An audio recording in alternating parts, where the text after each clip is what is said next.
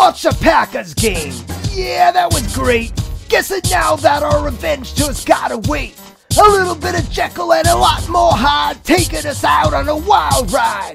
Our QB Nick, a TD and a pick. Somebody get a brown bag, I'm gonna be sick.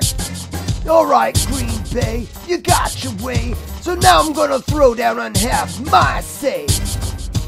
The Packers had the knives out, they cut us in into me, but nothing that they did to us is to convince me that they are a kind of irresistible force. Still, I'm giving Aaron Rodgers mad props, of course. After all, we had a chance to pick him up in the draft. Instead of that, we went and added Alex Smith to the staff. So we blew it big time in 2005. Now we're struggling just to keep our playoff hopes alive. But Niner fans keep the faith. We gotta work a lot harder. And when we pick our next QB, we gotta be a lot smarter. This old damn 2020's like a rite of passage, and I'm Larry Lombard. And I approved this message.